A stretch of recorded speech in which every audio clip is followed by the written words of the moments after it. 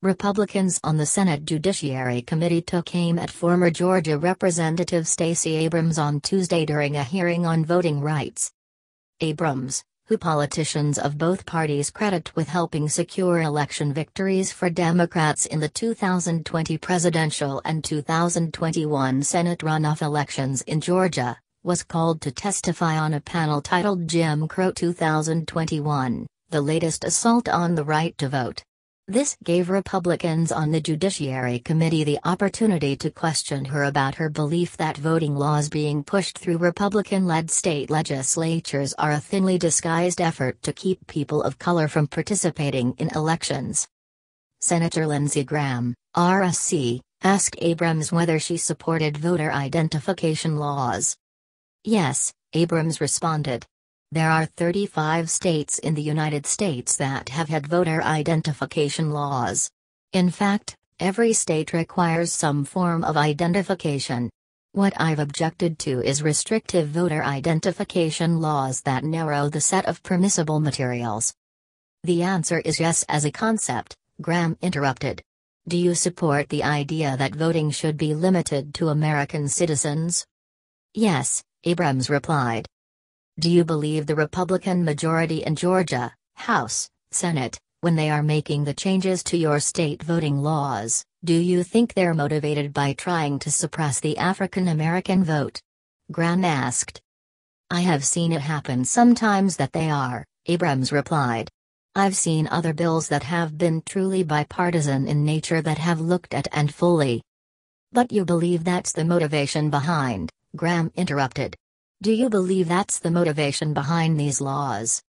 Abrams then referenced her time in the Georgia House of Representatives, where she served as Democratic Minority Leader before running for governor, and her work with Republicans in the chamber such as Speaker pro tempore Jan Jones.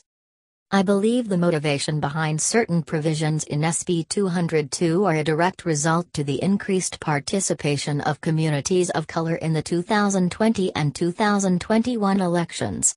I have participated for 11 years, as Speaker Pro Tem Jones pointed out, we served together and almost every year there was a voting law. And when those voting laws were neutral, not only on their face. Well, I'm out of time, Graham interrupted again. Do you think the Speaker of the House, Speaker Pro Tem, the lady, Jan Jones, is motivated by trying to limit the African American voters in Georgia? I believe there is racial animus that generated those bills, Abrams answered.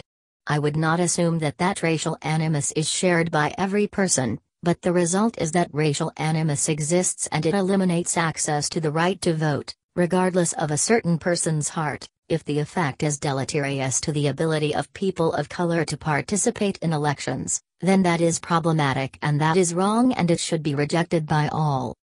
Senator John Cornyn, Republican Texas, was more direct than Graham, asking Abrams whether the Georgia election law was a racist piece of legislation. I think there are components of it that are indeed racist, because they use racial animus as a means for targeting the behaviors of certain voters to limit their participation in elections, Abrams responded. So you believe that the Georgia legislature made deliberate attempts to suppress the minority vote? Yes, Abrams replied. Cornyn then pressed Abrams on whether states with no excuse absentee voting, rather than the all-mail voting practiced in a handful of states, should be considered racist. They are behind the eight ball, Abrams responded. But are they racist? Cornyn asked. You are filibustering. I'm saying that changing things now, after increased minority turnout, matters, Abrams replied. When it was his turn to question Abrams, Senator Ted Cruz, Republican Texas, noted that she still had not conceded her loss in Georgia's 2018 gubernatorial election to Republican Brian Kemp. Yes or no, today, do you still maintain the 2018 Georgia election was stolen? Cruz asked. As I have always said, I acknowledged at the very beginning that Brian Kemp won under the rules that were in place. What I object to are rules that permitted thousands of Georgia voters to be denied their participation in this election, to have their votes cast out. and so I will continue to disagree with the system until it is fixed. We have seen marked progress made and unfortunately it was undone in SB 202, but I will continue to advocate for a system that permits every eligible Georgian to cast their ballots. Miss Abrams, Cruz interrupted, I'm going to ask you to please answer the question I asked, which is, yes or no, do you still maintain the 2018 election was stolen? That's your language. My full language was that it was stolen from the voters of Georgia, Abrams replied.